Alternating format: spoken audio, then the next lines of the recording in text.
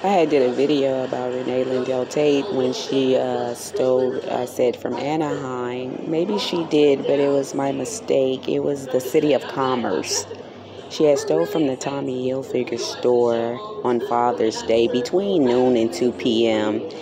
And I know because I saw her, and uh, she was stealing out of the store. That's what she does for a living. She don't have any money. She broke. She's a hoe. She take EBT like on God. And I don't lie about anything. I'm very truthful and blunt. And if folks got stuff to say about me, I might as well go on and put the truth out there about others. See, why they spreading lies on me, I'm putting the truth out there on them. That part, that's the difference between me and them. But I'm not doing it to slander her name. I'm just putting the truth out there because people out there saying I'm this and I'm that, but it's no proof or evidence. But with this heifer, if the police stop her, they gonna see all kind of stolen goods Yes, sir. And she always trying to get name brand stuff because she can't afford it, but she want to keep up with the Joneses, and it just makes no sense to me. This idiot, she met her match coming against me because she don't even know. She don't even know all the things she thinks she got planned for me and in store for me, honey. It's coming to you and some, and you already been through it. So don't play no games like I don't know. I'm spiritual too. Keep that in mind. But I'm not here for evil. I'm here for the good of humanity, for the better of humanity, and to raise the vibrations and the frequency waves of humanity, and to keep God in the equation. Yes, sir. And that's what I do. But I'm nobody's pushover. No, sir. And if you decide for no reason to step on my toes, I'm going to decide to step back on yours. So, in saying that, she had stowed from the City of Commerce from the Tommy Hilfiger store, like I said, between 12 and 2 p.m. on a Sunday. It was Father's Day in particular.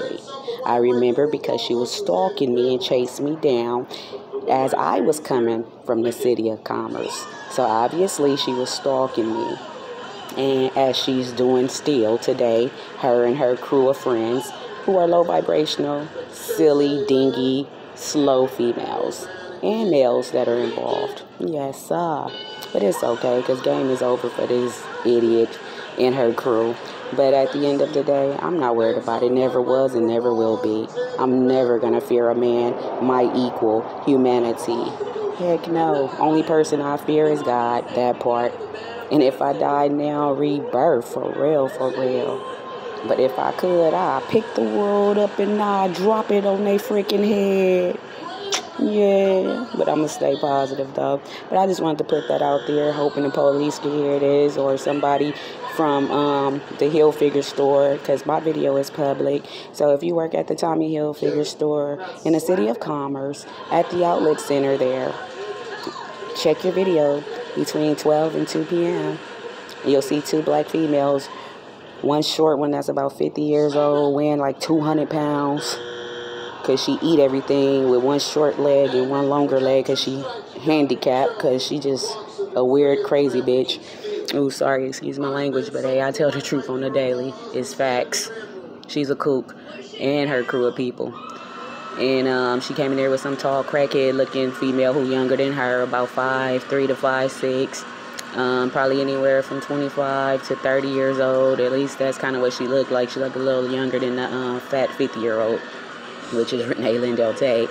And um, I believe that girl who she was with, her name was Tamika, but I'm not really sure on that one. But yeah, they were together, harassing me, stalking me. She threatened my life, said she gonna kill me. My dude was with me, so I have a witness to everything and he's willing to put the truth out there if he needs to.